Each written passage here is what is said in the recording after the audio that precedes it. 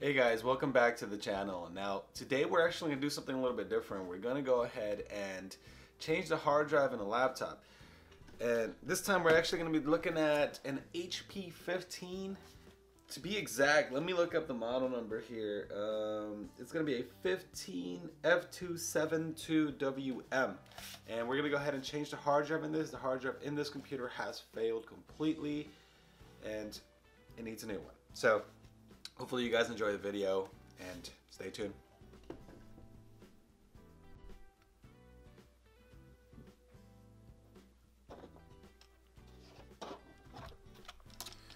Alright guys, so the first thing that we're going to go ahead and do is turn the laptop around and remove the battery. After that, we're going to remove the RAM cover. This is held on by two screws, one on each side. And make sure you use something flat to pry it out, because this case, this cover is actually pretty hard to remove just with your hand.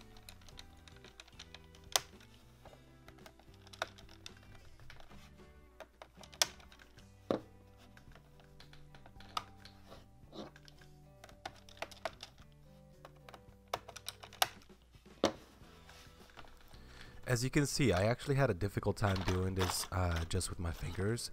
So I went ahead and took my own advice and used something flat to just put right in the middle of it and pop the clip so it actually comes out.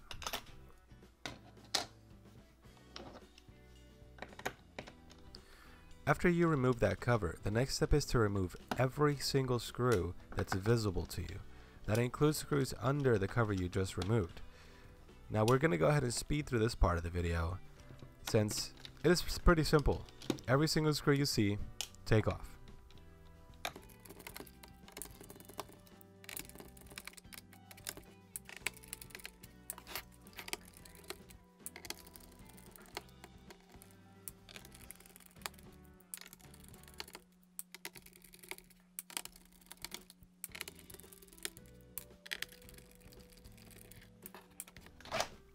With all the screws out, you are now free to pull out the DVD drive. Under the DVD drive, you'll notice that there are more screws. Please remove those before you continue.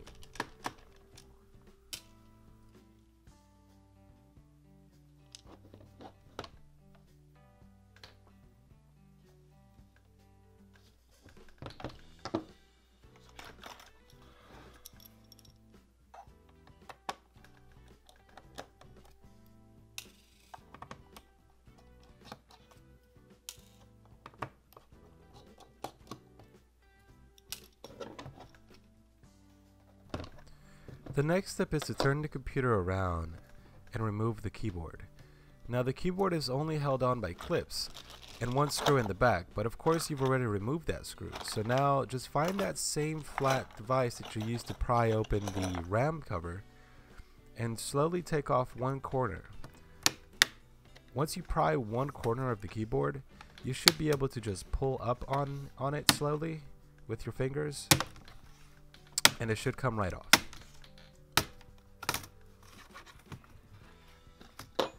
Once you have pried the keyboard up, be very careful. There is a flex cable attached to the motherboard. Make sure you lift up the little black tab on that connector and just remove the flex cable. Now under the keyboard you will find more screws. Now keep in mind these are different size screws so keep them separated. You have to put these back exactly where they belong. Don't mix them up with the other ones. The next thing to do is to remove the other two flex cables that are attached to the motherboard. Now these are for the um, mouse pad and the other one is for the power button. Please be careful with these. Make sure you lift up on the tabs before you pull them out, just like you did with the keyboard.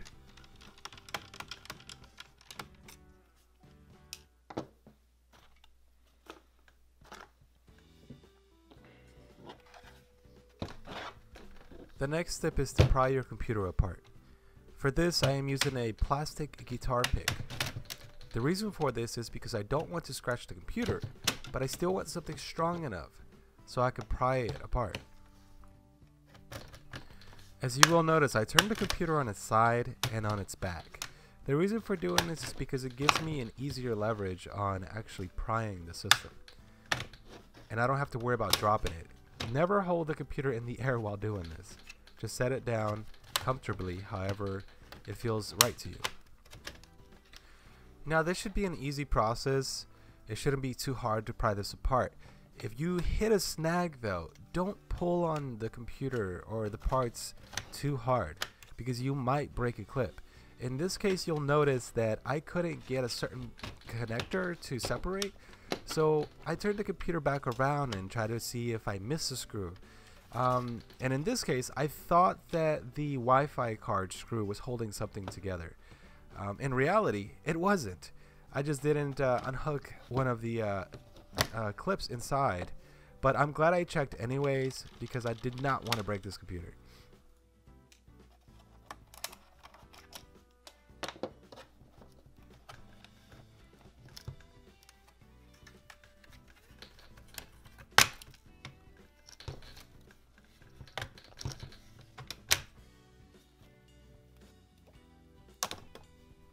Once you remove the cover, you're going to go ahead and clearly see the hard drive in front of you. There is a flex cable going over the hard drive for this computer. Just go ahead and unhook that flex cable. It's going to be the same connector that the um, keyboard had, same type of connector. Now, in for this computer, I had to go ahead and completely remove the board that was attached to that, which was the USB and audio jack board. The reason for this is because I could not pry the uh, or lift the hard drive up unless I remove this board.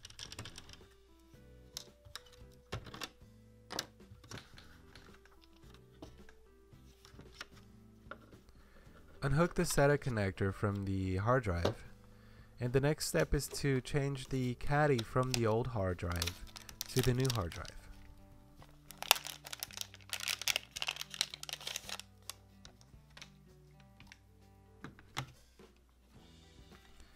The caddy is held on to the hard drive by four screws. They are still Phillip head screws.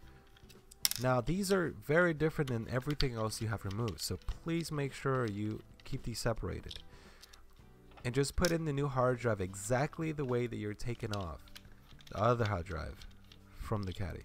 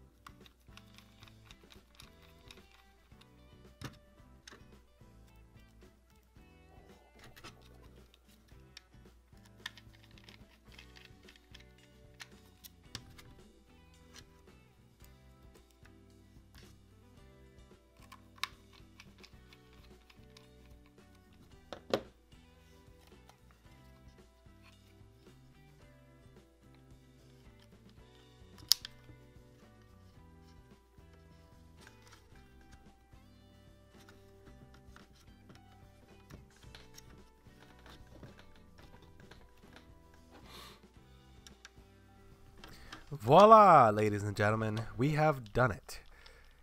The hard drive is changed.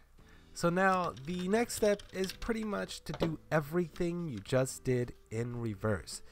Now the goal here is to not have any extra screws. You'd be surprised how many technicians actually have extra screws and then they're just like, oh, it's just extra screws. But uh, I believe that every screw is important to the system. So go this I'm gonna go ahead and just let you guys watch the video of everything in reverse or the, the rest of the process and I hope you enjoyed the video. Now, if the video helped you, please go ahead and hit that subscribe button, hit that like button, please share. You never know, it might help somebody else too. And thank you very much guys for watching, and I'll see you on the next one.